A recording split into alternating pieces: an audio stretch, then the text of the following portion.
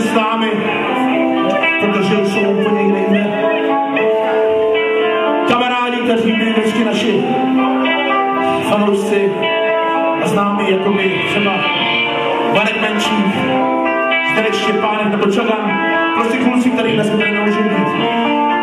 Takže na vzpomínku a děkuji vám všem, kteří jste přišli dneska večer a viděli